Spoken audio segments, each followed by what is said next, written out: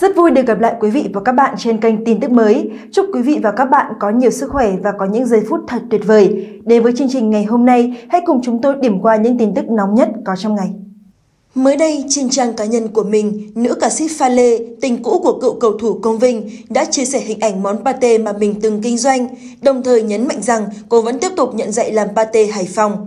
Được biết, pate Hải Phòng rất có tiếng về độ thơm ngon, được rất nhiều người quan tâm và yêu thích.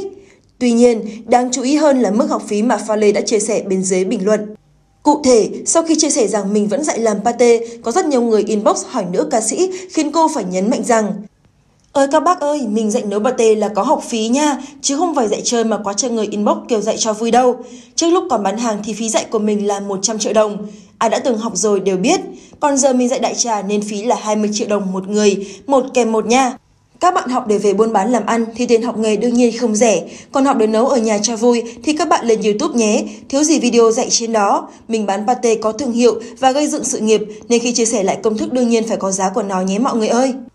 Ngay sau đó, rất đông ý kiến trái chiều cho rằng mức giá vài nghìn đô trong một công thức làm pate là hoang đường, không thực tế.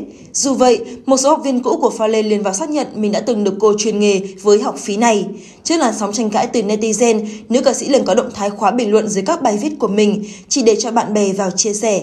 Đồng thời, Pha Lê gay gắt đáp trả một cư dân mạng với từ ngữ nặng nề. Thế thì em ngu quá em à, chị bán pate mua được nhà xe đó, em ngu không có nghĩa là người khác cũng ngu nha.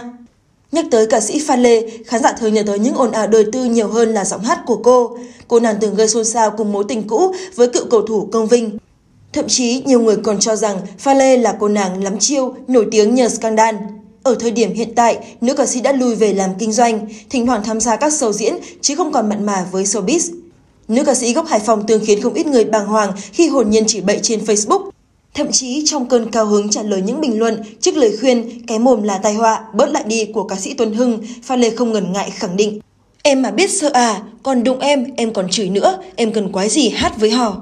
Bản tin vừa rồi cũng đã kết thúc chương trình của tin tức mới. Cảm ơn quý vị và các bạn đã chú ý theo dõi. Mọi ý kiến trái chiều mời quý vị để lại trong phần bình luận phía dưới video này để đội ngũ của chúng tôi có thể kịp thời trả lời. Xin kính chào quý vị và hẹn gặp lại trong những bản tin kế tiếp của tin tức mới.